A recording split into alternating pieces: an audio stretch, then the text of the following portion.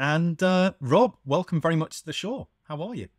Yeah, I'm great, Paul. It's it's great to be with you. Rob's Rob's rolling in after uh, after a big Kansas win at the Super Bowl a couple of weeks back. He's still still living the yeah. dream.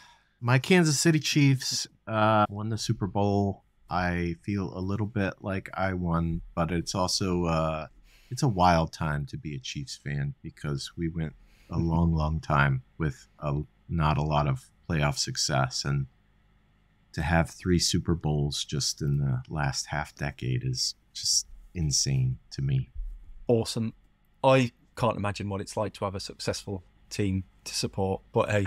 Um, maybe we'll we'll do what the Chiefs have done at some point. Well, you never know. Uh, for anybody who's listening to the show and wondering what I'm talking about, I am a Sunderland AFC fan, uh, uh, football here in the UK, and uh, we have we're very passionate. We have very little to shout about generally